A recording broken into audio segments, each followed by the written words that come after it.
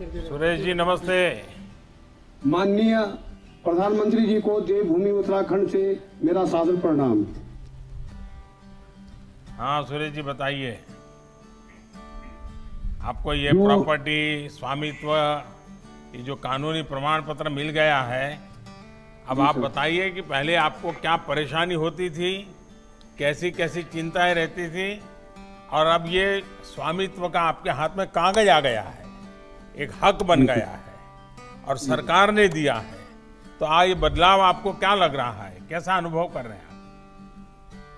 इसमें स्वामित्व का स्वामित्व अभिलेख मिलने से सभी लोगों में एक खुशी का माहौल बना हुआ है। हमारे जो लोग रोज़गार हेतु बाहर निवास करते हैं, उनके गाँव में संपत्ति है।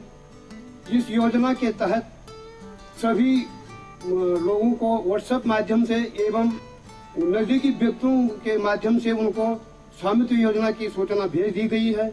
चूना मार्किंग के समय किसी भी प्रकार का विवाद नहीं हुआ।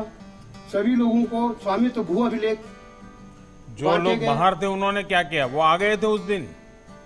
उस दिन आ गए थे सर आ गए थे। जिनको सूचना मिली थी वो सब लोग पहुँच गए थे। अच्छा। सभी लोग वहाँ पे मौजूद थे। बिना विवाद के उनको स्वामित्व योजना के कार्ड वितरण किए गए कितनी जनसंख्या है आपके गाँव में? कुल लोग कितने हैं?